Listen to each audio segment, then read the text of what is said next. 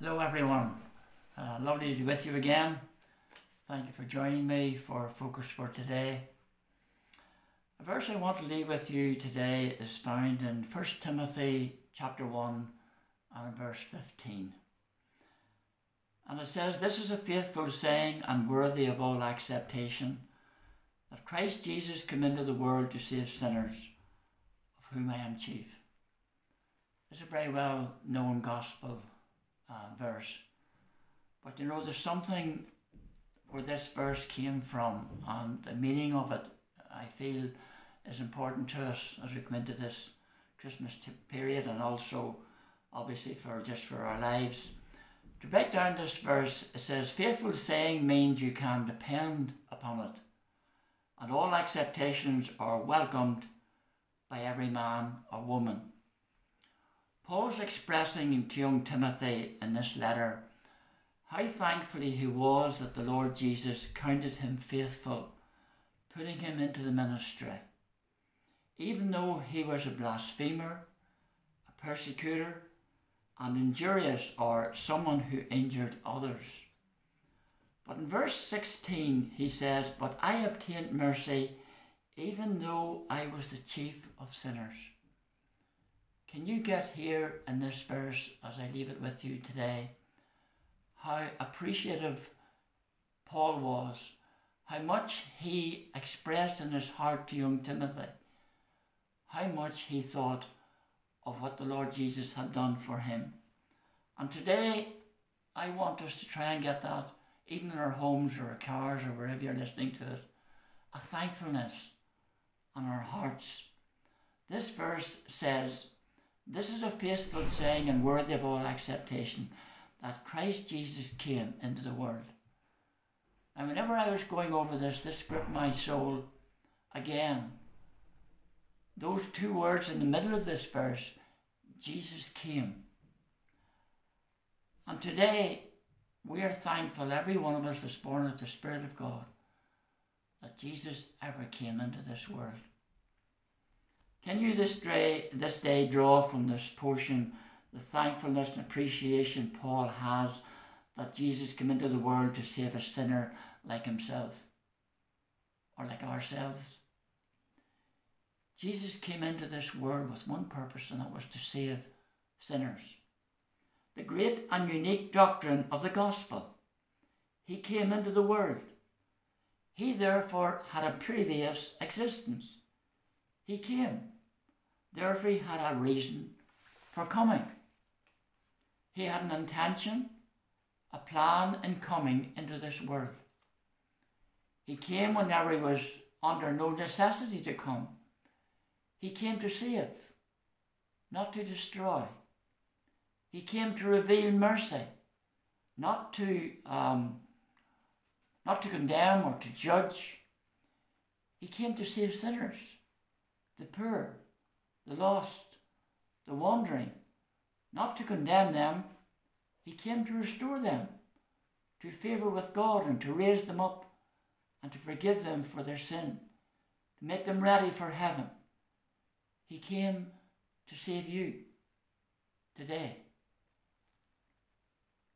As we listen to this this morning, or even throughout the day, we all love the Christmas scene at Bethlehem. The baby Jesus with Joseph and Mary, the shepherds, the wise men, and the singing of carols. Away in a manger, no crib for his bed, the little Lord Jesus lay down his sweet head. I want you to think of that today. The manger scene, Jesus coming into the world. He came. But I also want you to think of 33 years later, Jesus was to die on a cross on Golgotha's hill in Jerusalem. We look at a different scene to Bethlehem, just fulfill God's plan for the sin of mankind. The Apostle Paul, as related to young Timothy, was so thankful that Jesus came to save sinners and he met with him on the Damascus Road. Many of you that are listening are saying, even in your heart, thank you, Lord Jesus, that you ever came into this sin cursed world to pay the price for my sin. Is that the way you're feeling today as you listen?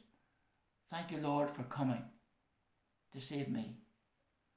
The Christmas story is only the beginning of a life that was sacrificed in love for you. Recently, I read this lovely letter written by a young woman in her diary on the 23rd of December 2018, and I quote Dear Jesus, thank you for coming to earth, for becoming fully human so that I might know you. Not a day goes by, Lord, that I don't lean on you for strength, for answers, for comfort, for joy. And I know that you are for me because you walked amongst us. There are no words how truly grateful I am. Lord, I know you sent Jesus to teach us how to live. Help me to live in a manner that's to pleasing to you. Let those around me see your beauty. Use me, Lord, to shine your light on the earth and to bring comfort to the needy, to teach others about your unfaithful and your unfailing love, to live as Jesus did. Thank you, thank you, thank you, Jesus. Let today be a day of peace filled celebration of you and your birth on that beautiful night. You came, you gave us light. In your holy name. Amen. First Timothy verse 1, chapter 1 and verse 15, Jesus came. This young woman, as she wrote this in her diary, was expressing how much it meant to her. Could you, over this Christmas time, express to the Lord Jesus how you feel that He came? Could you tell Him even today that you love Him? That you appreciated Him coming into this world to save sinners like us? May this Christmas be a time of reflection for you to thank Him that He came into this world to save sinners. And if you're not saved, then just bow your head today and ask Him to forgive you for your sin and to save you just where you are. That's why He came. And when you do it, you will find it to be the best Christmas you will ever have. I want to thank you for joining me today. And together let us thank Him that He came into the world, that God gave His only begotten Son, and that He lives within our hearts today. Let us pray. Lord Jesus, we thank Thee this Christmas time from the bottom of our hearts that You ever came into this world to save sinners. I'm glad for this great plan of salvation of God that the Lord Jesus was given His only Son to be the one to take away our sin. Thank you for the great love.